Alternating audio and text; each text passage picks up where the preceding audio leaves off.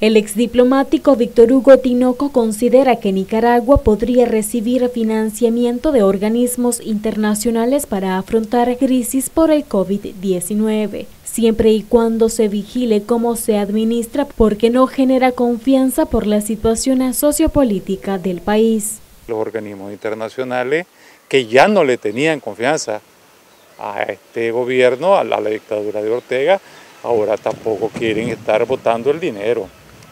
Yo creo que la única forma como Ortega puede recibir, o más que Ortega, como el pueblo nicaragüense puede recibir ayuda internacional, es que aquí la ayuda internacional venga y sea supervisada por un equipo internacional que pueda saber, primero, hacia quién se dirige el dinero, cuánto les van a dar, ¿verdad? Eh, qué criterios se están usando. Es decir, porque si no, el riesgo es que todo ese dinero se, desaparece. Y lo digo con toda responsabilidad, como está pasando con, la, con las 25 mil test de, del COVID. Y ahí vino, vino la, la OPS, le dio los 25 mil test del COVID y, y nadie sabe cuántos se han usado, dónde los han usado.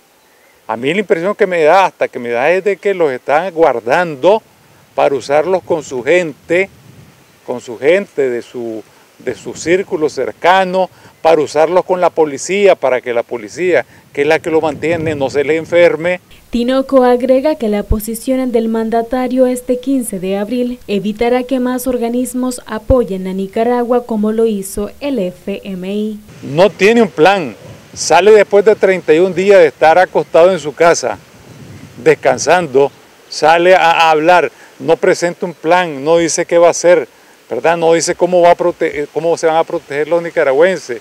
Va, eh, ya, no puede mandar a la gente a las playas porque ya, desaparecieron, ¿verdad? Eh, la Semana Santa ya pasó.